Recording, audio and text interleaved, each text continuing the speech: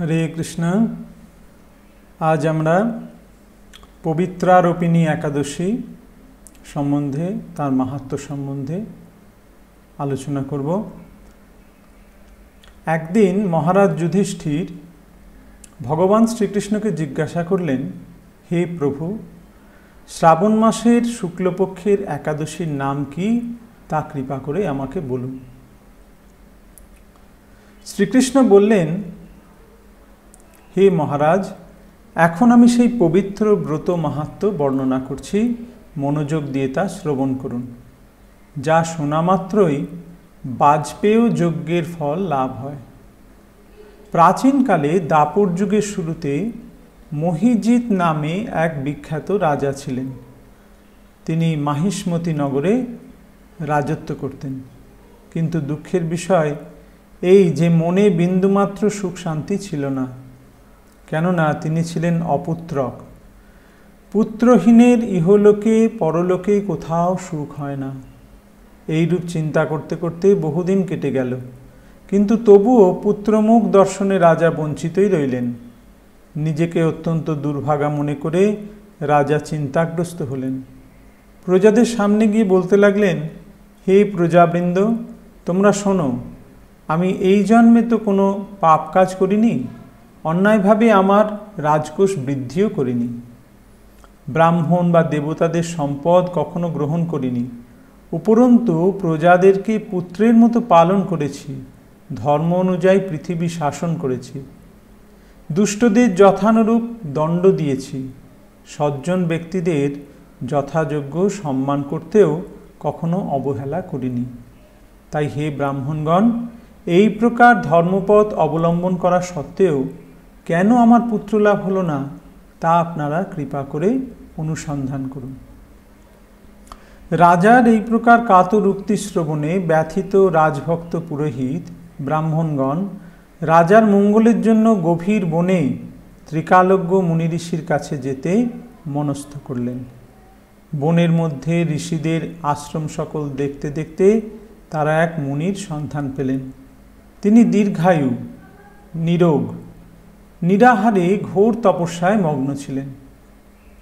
সর্বশাস্ত্রে বিশারদ, ধর্মতত্ত্বজ্ঞ ও ত্রিকালজ্ঞ সেই মহামুনি, তার নাম ছিল লোমস ব্রহ্মার এক কল্পে, অর্থাৎ ব্রহ্মার এক দিনে, এক দিন অতিবাহিত হলে মুনিবরের গায়ের একটি লোম পরিত্যক্ত হতো। এই কারণে এই মহামুনির নাম লোমস তাকে দেখে সকলেই ধন্য হলেন। তারা পরস্পর বলতে লাগলেন যে, আমাদের বহু জন্মের সৌভাগ্যের ফলে আজ আমরা এই মুনিবরের সাক্ষাৎ লাভ করলাম। তারপর ঋষিদয় ঋষিবর তাদের সম্বোধন করে বললেন, কি কারণে আপনারা এখানে এসেছেন এবং কেনই বা আমার এত প্রশংসা করছেন? তা স্পষ্ট করে বলুন। আপনাদের যাতে মঙ্গল হয়, আমি নিশ্চয়ই তা চেষ্টা করব। ব্রাহ্মণেরা বললেন, হে ঋষিবর, আমরা যে উদ্দেশ্যে এখানে এসেছি, আপনি তা কৃপা করে শুনুন। এই পৃথিবীতে আপনার মতো শ্রেষ্ঠ ব্যক্তি আর কোথাও নেই। মহিজিৎ নামে এক রাজা নিঃসন্তান হওয়ায় অতি দুঃখে দিন যাপন করছে। আমরা তার প্রজা।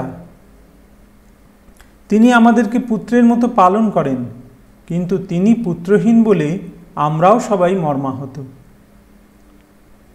তার দুঃখ দূর করতে আমরা এই বনে প্রবেশ করেছি।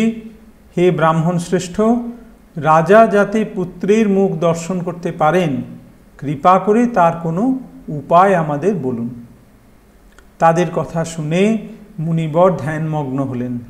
কিছু সময় পরে রাজার পূর্ব জন্ম বৃত্তান্ত বলতে লাগলেন, এই রাজা পূর্বজন্মে এক দরিদ্র বৈশ্য ছিলেন। একবার তিনি একটি অন্যায় কার্য করে ফেলেন। ব্যবসা করার জন্য তিনি এক গ্রাম থেকে অন্য গ্রামে যাতায়াত করতেন। একসময় জ্যৈষ্ঠ মাসে শুক্লপক্ষের দশমীর দিনে কোথাও যাওয়ার পথে তিনি অত্যন্ত তৃষ্ণার্ত হয়েছিলেন। গ্রাম প্রান্তে একটি জলাশয় তিনি দেখতে পান, সেখানে জল পানের জন্য যান। একটি গাভী ও তার বাছুর সেখানে জল পান করছিল। তাদেরকে তাড়িয়ে দিয়ে তিনি নিজেই জলপান করতে লাগলেন। এই পাপকর্মের ফলে তিনি পুত্র সুখে বঞ্চিত হয়েছেন। কিন্তু পূর্বজন্মের কোনো পুণ্যের ফলে তিনি এই রকম নিষ্কণ্টক রাজ্য লাভ করেছেন। হে মুনিবর শাস্ত্রে আছে যে পুণ্য দ্বারা পাপ ক্ষয় হয়। তাই আপনি এমন একটি পুণ্যব্রতের উপদেশ করুন, যাতে তার পাপ যাতে তার প্রারব্ধ পাপ দূর হয় এবং আপনার অনুগ্রহে তিনি পুত্র সন্তান লাভ করতে পারেন। লোমসমুনি বললেন, শ্রাবণ মাসের শুক্লপক্ষের পবিত্রারোপিণী একাদশী ব্রত অভীষ্ট ফল প্রদান করে।